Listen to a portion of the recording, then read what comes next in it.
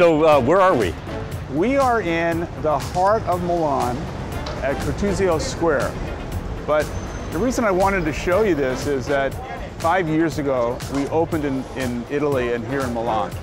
I found this piece of real estate, literally, this was a vacant post office. So we acquire it and naturally there was tremendous resistance. All the headlines before we opened said, Starbucks will fail in Italy.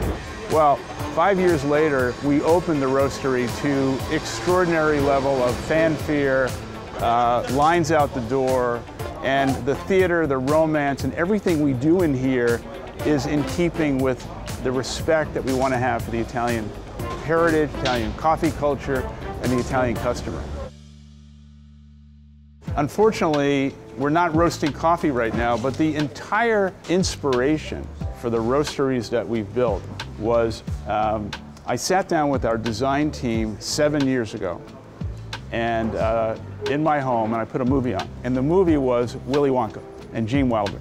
And I played that movie because there was such romance, theater, fun in how the movie brought the chocolate to life in an environment that looked like a train set almost. Could we replicate that by bringing green coffee, roasting it, and then creating this system all around the roastery and the customer could see the theater and the romance right. and the magic of this. And so we did this at great expense. People thought it was crazy. It's not going to pencil out. Nevertheless, the, the, the value of the roasteries has been incalculable. And I think it speaks to the imagination, the entrepreneurial DNA of the company. I would say that I, I, I would probably have made people crazy about the level of attention and the fastidiousness that I have about these roasters. And, and like, what's an example of something you would uh, like go uh, back and back and get? Oh, even and... even the shape of the glassware, even the the demi-tasse cup for espresso. Uh, the placement of the espresso machines. I want our people to be in front of our customer and not have to turn their back too often.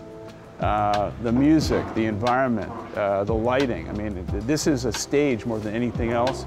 And then we are sending coffee to other stores in Italy. We have 25 stores in Italy that's coming from here as well. I know Italy you know, isn't the most important market financially uh, yeah. to, to, the company, but it is the most important market to you. Uh, why?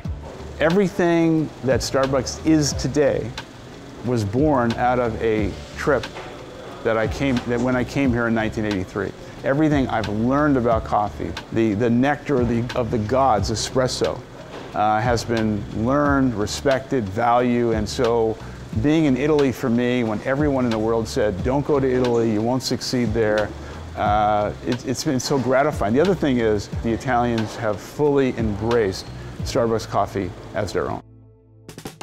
Now we're heading out to the bar. And so all of the roasteries have an extensive alcohol bar with Italian beverages, and every roastery we've opened, we've done this, and it's been a great hit. What's your uh, daily coffee routine? My daily coffee routine is a, uh, when I wake up in the morning, I make myself a doppio espresso macchiato. Okay. Which is two shots of espresso and just a little dollop of, of steamed milk.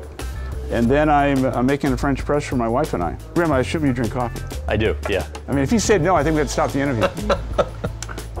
so, cheers. Cheers. It's gonna be hot, be careful. That's damn good coffee. That's really good.